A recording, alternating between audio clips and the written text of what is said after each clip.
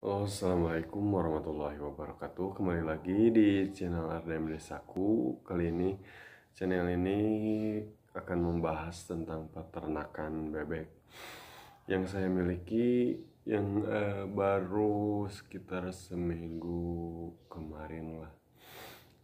Eh, Saya beli 50 ekor dengan harga lumayan cukup lah kalau cukup murah kalau dibanding dengan yang lain.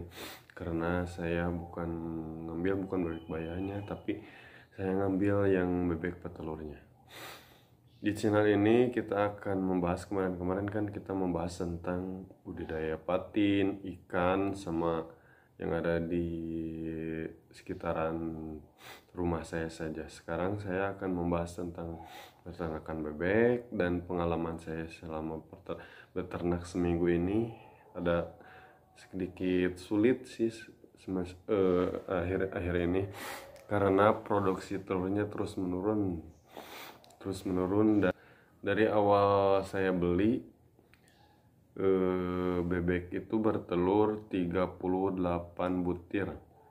Sampai hari ini seminggu hari Rabu kemarin datangnya hari Rabu sekarang hari Rabu lagi.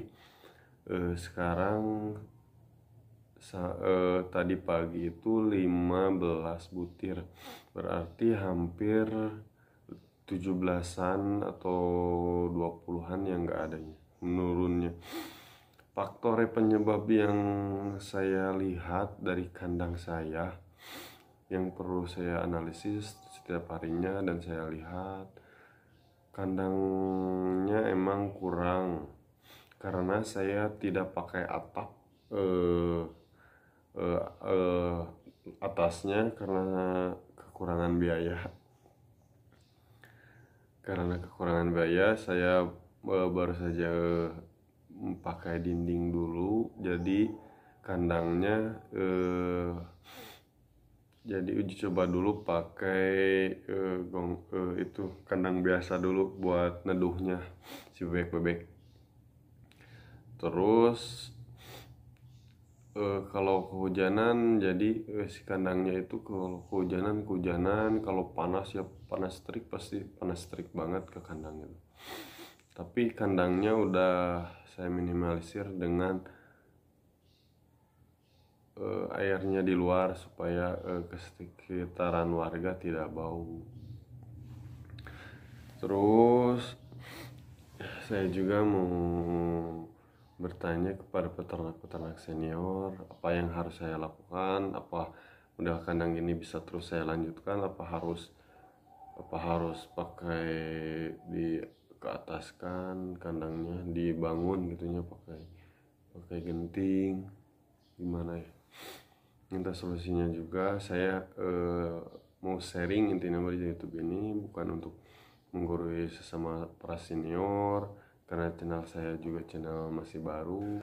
Ya yang tahu solusinya boleh di komen di channel ini di bawahnya.